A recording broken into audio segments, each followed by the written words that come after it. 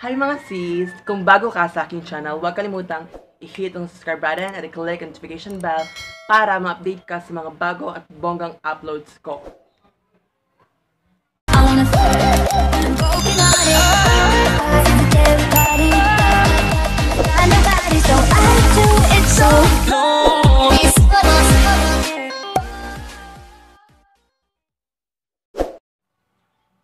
For today's video, as you can see sa title, I will be sharing to you guys on what is my or what are the hormones, specifically inject- injectable hormone that I'm using, and it's very evident and clear as I said from my previous vlogs that I'm using the Phenokinon F injection or the injectable hormones before. At now, I will continue on using that kind of hormone. And sa video nga ito, ibabahagi ko sa inyo kung paano ko siya ini-inject or how to administer self-injection, specifically the use of Phenoquinone F injection as the hormone for my hormone replacement therapy. But before we will proceed in a particular video, I would just like to clarify things na I'm not promoting or I'm not in favor of self-medication and I, I'm not being hypocrite, but it is really not advisable to self-medicate. Most especially, it is not advisable to self-inject. It is much uh, highly appreciated if mag-ask ka ng assistance from a doctor or a nurse so the first thing that we need to do is just like in making any project, so really ha- really need to have the following material. So in the process of HRT or in the process of self injection, you need this following materials. First, you need the the alcohol. So the the alcohol it will serve as a sanitizer in order for you to avoid infection and getting infected. Second, you need the cotton pads. The cotton pads and alcohol, they are very important for you to avoid um, the spread of bacteria or the spread of germs and in order for you to avoid further infections. Then, we also need the syringe. Syringe. Like that. Specifically, 3cc syringe since we will be doing intramuscular injection injection. So you will be needing the 3cc and since we also since we also be using injectable hormones so it is much advisable to use syringe. It is a very important tool. And lastly the hormone itself. So i myself i'm using the Phenokinon f injection. As you can see and it contains progesterone 50 milligrams and estradiol benzoate 5 milligrams. So each box it contains three ampules like this.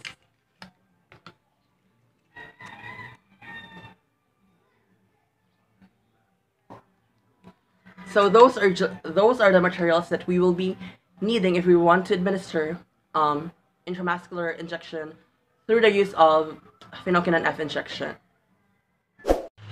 So at this point, we will now proceed to the different steps and how to properly administer intramuscular injection. So yun mga sis, itudo na natin to ng bongga. So unang gawin is kumuha, kunin ang alcohol at isanitize ang iyong kamay. That way, maiiwasan natin ang infection. Hindi natin gusto ang infection we have to consider that this process is very risky. That is why we need to avoid infection as much as possible. And we can do that by sanitizing first. So, ready na tayo.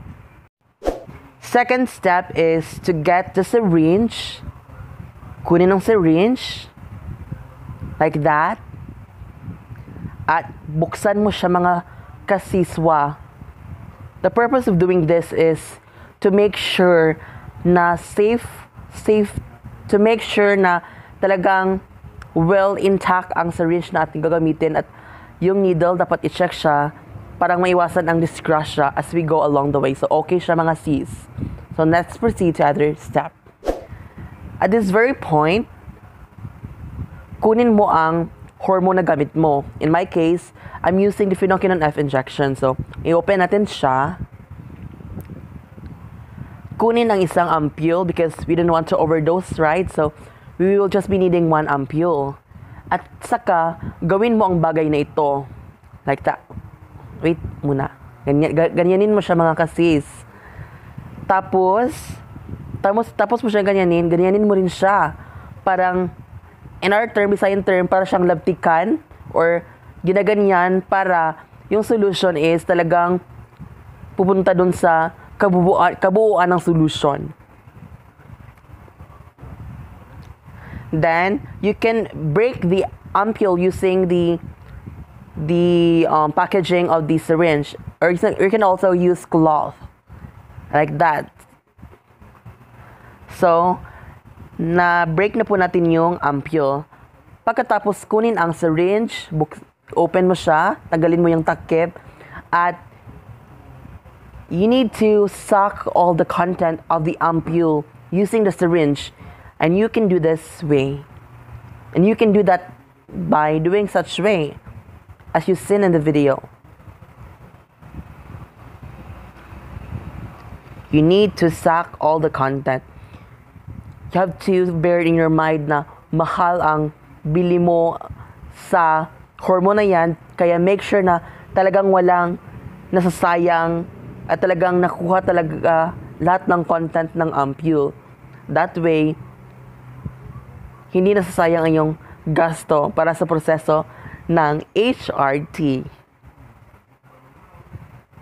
Oh, as you can see, talagang pinipilit ko talagang makuha lahat, lahat, lahat kasi ayaw kong masayang yung solution kasi nga 1k is not is 1k is already a big amount especially for a student like me so nakuha ko na lahat guys ilagay ulit ang takip, wait you have to make sure na intact pa rin yung needle at itlagay yung takip and do this para maiwasan yung bubbles. We need to get rid of the bubbles because the bubbles it will just make the in- inject or the injection site after injecting more painful. So we need to remove the bubbles by doing that. And at this point, tal- tinatanggal na po natin yung air and also the bubbles.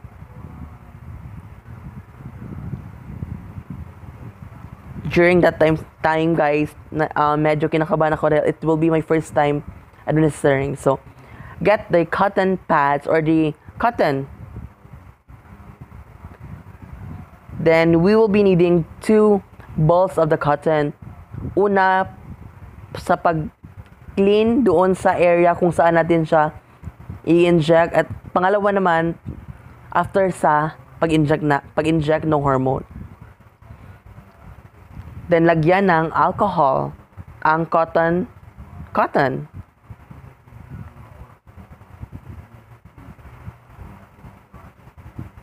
Like that. As you can see. Very simple lang mga verbs. You don't have to complicate things. At we need to clean the injection site or the site where we are about to administer the injection. Do that in this motion in circular motion in order to really get rid of the dust and the dirt. Dirt. Let it dry. Let it dry for sec for for how many seconds at ito na nga yun mga vebs ito na ang pinakatakutan ko. But you need to locate the the the strategic area. This this will we will be doing the intramuscular injection right? So you need to locate the vastus lateralis and that area na yan pwede na yan mga sis para sa intramuscular injection. Get the syringe with a solution. And guys bear with this you need to locate the perfect area or the suitable area and you need to inject the syringe with a solution calmly. It is very rare that in that video I'm not shaking. I'm very calm and collected. Unlike my previous upload regarding how to inject my hormone, I'm really shaking heavily. So push the as you can see, I aspirate in order to make sure na hindi ako nakatama ng ugatan. After aspirating, push all the content of the syringe into your body by doing such. and wait, wait, let the solution to come in inside to come inside your body and get the other cotton and eject the syringe and do like that. So that's it guys. It's very simple. But for me, doing it again this time, I feel like it's kind of like a risky thing, but I managed it and I, I made it. It's a success. Walang dugo. So that's it guys. I really hope that you will learn something out of this vlog. And again and again, I will not be tired of reminding you to not self-medicate and to not self-inject inject because it is very risky. So that's it. Thank you so much for watching. God bless us all and see you in my next video. Light me up inside like the 4th of July Whenever you're